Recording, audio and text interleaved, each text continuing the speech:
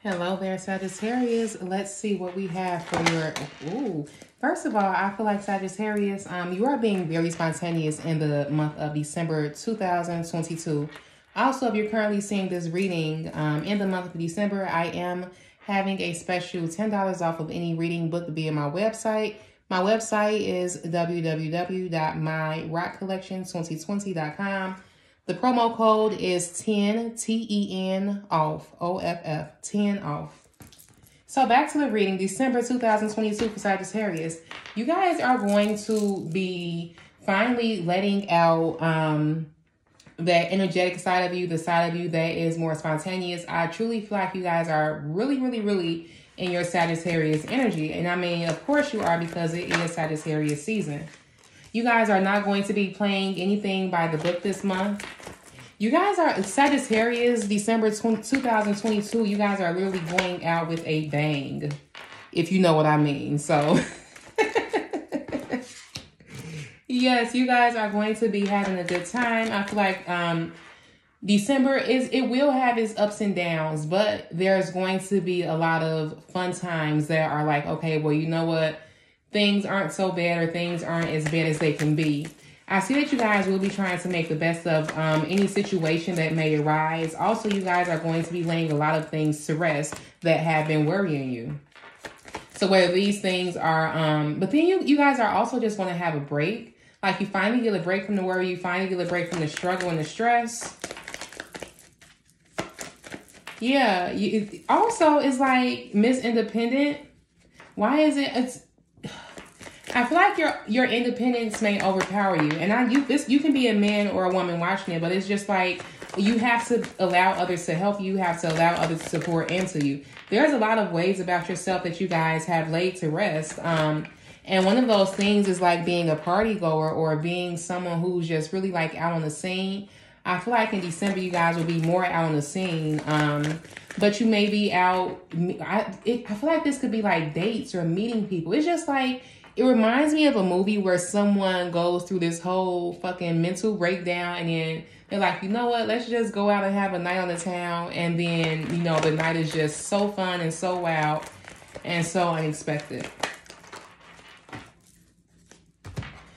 I don't see you guys getting into any commitments. You guys don't you guys don't want to be attached to anything. Um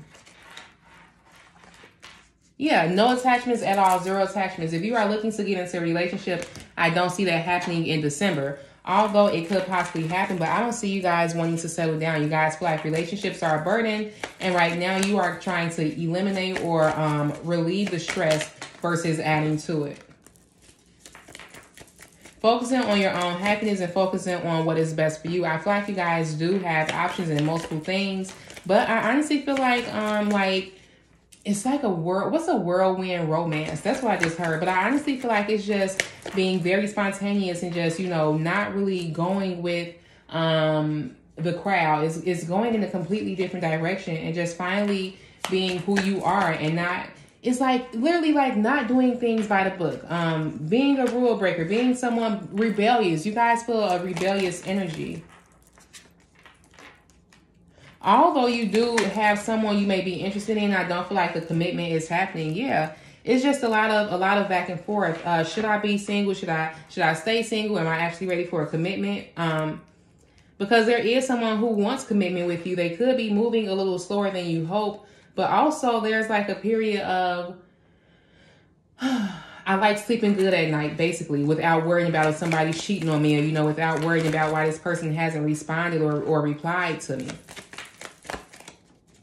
ultimately, I do see um, relationships, and there's lots of um, stable and grounding energy here. But then there's also lots of like fight or flight energy. I feel like you guys, it's almost like wanting something and then getting it and then being afraid of it. Like, yeah, I want a cat, but I'm afraid of cats. But you get a cat anyway, and now you're afraid of the cat things may not the person the person that you want may not be the person that you end up with. I, I have to stress that um, which is probably why this union isn't happening in december. Um, but the person that you have your eyes or sight set on this person number one deals with other people and they are a heartbreaker. They are a known heartbreaker but so are you. And so it's really like you've met your match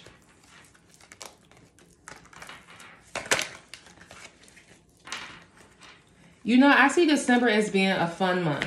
It also comes with, um, I hate to say it, but a little heartbreak. But only because it's like you come to a realization of, yeah, I thought that I liked this person, or, you know, I thought that I wanted this, but I truly don't. I'm not ready for this commitment, or I'm not ready for um, whatever it may be. Now, will you still deal with this person? I don't think so because you meet someone new, you deal with someone else. This could be an energy that has already began, but I don't think so. I think it's someone completely new, a whole new option because you find out someone just isn't who they said they were. And that helps you in your decision of, you know, not wanting to be committed to that person. You do eventually, though, meet someone that is, um, there's an age gap. You meet someone that is a very honest person. They're true to themselves. They're very straightforward about what they want. And that also is going to scare you because you want to be a free bird this, this uh, December. But I mean, just in general, it, it's like I don't want to be tied down. And so, I don't know. What do you do?